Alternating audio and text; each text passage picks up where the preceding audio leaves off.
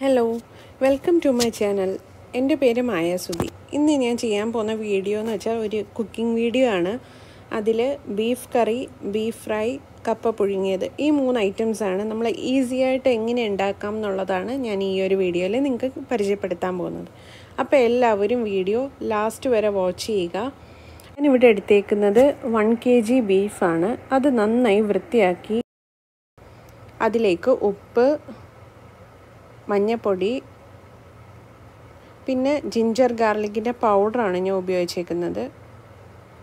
ഗരം മസാല മല്ലിപ്പൊടി മുളക് പൊടി.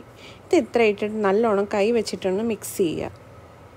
എന്നിട്ട് നമ്മളൊരു കുക്കർ എടുക്കുക. കുക്കറിലേക്ക് ഈ ബീഫ് ഇടുക. അത് കഴിഞ്ഞിട്ട് കുറച്ച് വെള്ളം ഒഴിച്ചാൽ മതിയാവും. കാരണം ഓൾറെഡി ബീഫിൽ വെള്ളം ഉണ്ട് അതുകൊണ്ട്.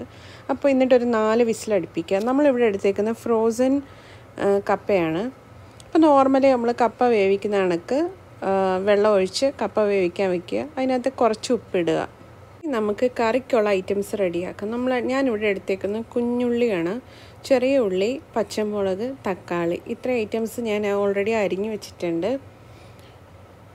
അപ്പോൾ നമ്മുടെ കപ്പ തിളവായിട്ടുണ്ട്. ജസ്റ്റ് നമ്മൾ ഇടയ്ക്കൊന്ന് നോക്കുക. വേവ് എത്ര വേവായെന്നുള്ളത് നോക്കുക. ഇനി ഒരു പാൻ വയ്ക്കുക പാനിനകത്ത് എണ്ണ ഒഴിക്കുക. കുറച്ച് കടുകിടുക.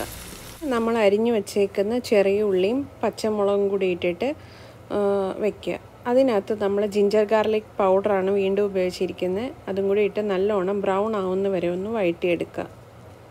അപ്പോൾ നല്ലോണം വഴന്നു വന്നിട്ടുണ്ട്. ഇനി അതിനകത്തേക്ക് നമ്മുടെ ടൊമാറ്റോ അരിഞ്ഞു വെച്ചേക്കുന്ന ഇടുക.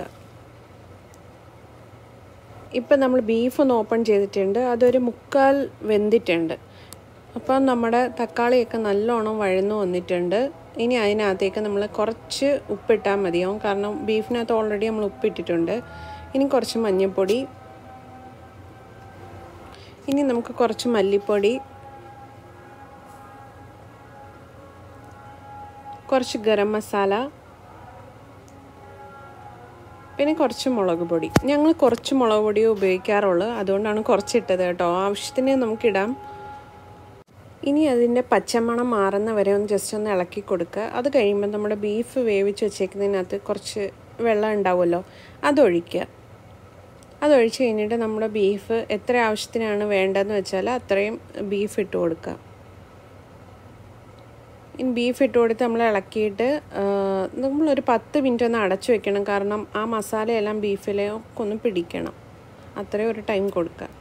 ആ ടൈം കൊണ്ട് തന്നെ നമ്മൾ വേറെ ഒരു പാത്രം വയ്ക്കുക അതിനകത്തേക്ക് ഇച്ചിരി ഏറെ എണ്ണ ഒഴിക്കുക. ഒരു ഉള്ളി അരിഞ്ഞതും പിന്നെ പച്ചമുളകും കൂടി ഇട്ടിട്ട് ഒന്ന് മൂപ്പിക്കാൻ വെക്കുക. അതിനകത്തേക്ക് കുറച്ച് ഉപ്പിടുക കേട്ടോ.